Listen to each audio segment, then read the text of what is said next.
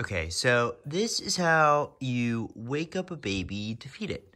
Um, just a little, a little poke here, a little poke, um, really can help sort of activate his, uh, his waking nerves. So it can really help sort of him wake up naturally. So it, he, he's less likely to scream. Just a couple sort of gentle pokes. Um, hey, hey, James, James, James, buddy. Hey, hey, right here. Got some milk. Yeah. So if you um, sort of wave the bottle around his nose area, it also um, is likely to smell good, and there's a good chance that he can wake up e easily from that. So hey, hey, bud. Another option is to grab grab the hand, just a little little slight squeeze. Great, perfect. Um, bud, hey, bud. Hey, hey, I got a meal for you. Little midnight snack. Hey, James.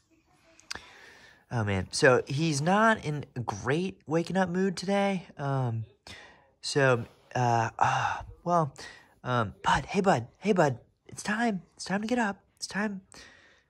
Maybe a little um hand wave, one of these little moves uh, may help.